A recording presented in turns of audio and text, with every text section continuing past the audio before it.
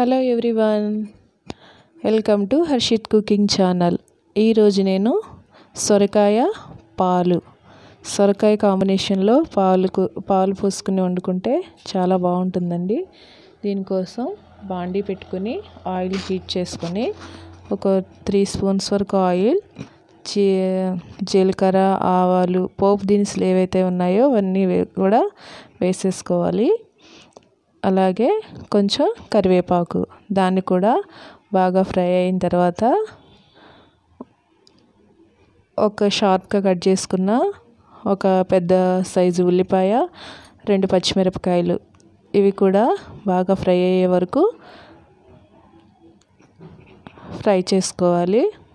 నేను చిన్న సైజు లేతది సొరకాయ తీసుకుని పైన చెక్కంతా తీసేసి ఇలా చిన్న చిన్నగా కట్ చేసుకున్నానండి.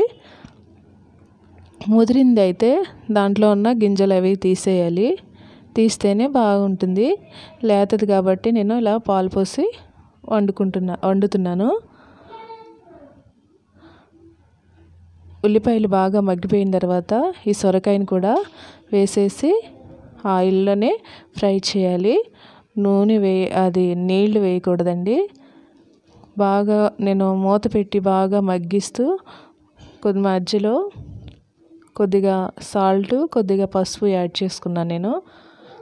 సొరకాయ అంతా కూడా బాగా ఉడికిపోయిన తర్వాతే కొద్దిగా ఉప్పు కొంచెం కారం యాడ్ చేసుకోవాలి. నేను ఇక్కడ కా మసాలా కారం యూజ్ చేస్తున్నానండి అందుకే ధనియాలు జీలకర్ర పొడి ఏమి యూజ్ చేయలే వేయట్లేదు. మసాలా కారం అంటే మామూలుగా దాంట్లోనే పసుపు ధనియాలు జీలకర్ర అన్నీ కలిపి ఉంటాయి. అందుకే నేను వేయట్లేదు. మీరు కనుక మామూలు కారం యూజ్ చేస్తే కనుక కొద్దిగా అవి యాడ్ చేసుకోండి. యాడ్ చేసుకుని ఉప్పు కారం వేసిన తర్వాత కూడా కొంచెం కలుపుతూ ఉండాలి. అడుగంటుకోకుండా ఇలా కలిపి ముందుగా పాలుని కొన్ని ఒక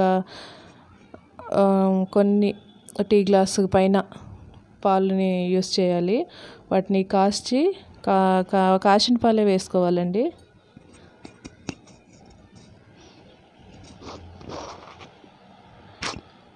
ఇలా ఆయిల్ పైకి తేలేటట్టు ఆల్మోస్ట్ రెడీ అయిపోయినట్టే ఇలా ఆయిల్ పైకి తేలేటట్టు చూసుకోవాలి.